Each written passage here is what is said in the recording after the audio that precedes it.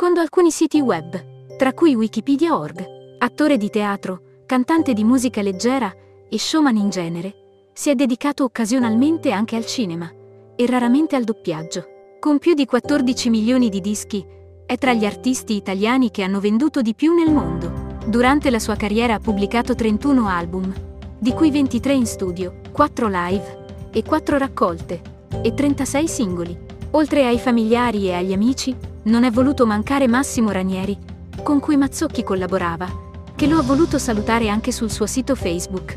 Ciao maestrone e amico mio dolcissimo. Abbiamo passato 15 anni meravigliosi insieme, fatti di risate, cene, prove estenuanti, ma sempre col sorriso e dolcezza da parte tua, onestà intellettuale e morale. Quelle parti di te che tutti noi abbiamo sempre apprezzato, amato tantissimo e che ci mancheranno infinitamente. Grazie amico mio dolcissimo. Rimarrai sempre nel mio e nei cuori di tutti.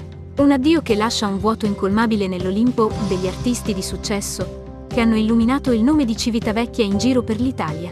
La scomparsa a 53 anni di Flavio Mazzocchi, straordinario pianista, talmente talentuoso da vantare collaborazioni con artisti del livello di Pino Daniele, Amedeo Minghi, Andrea Bocelli e Massimo Ranieri, ha sconvolto un'intera città. Giovedì scorso la drammatica notizia.